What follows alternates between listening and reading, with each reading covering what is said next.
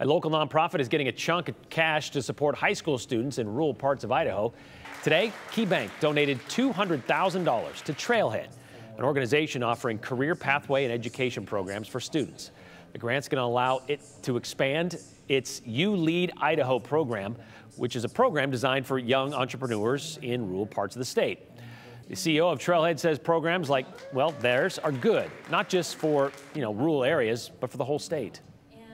For entrepreneurial ecosystems to be successful and to thrive, it's not enough for a single community or a city in the state to win.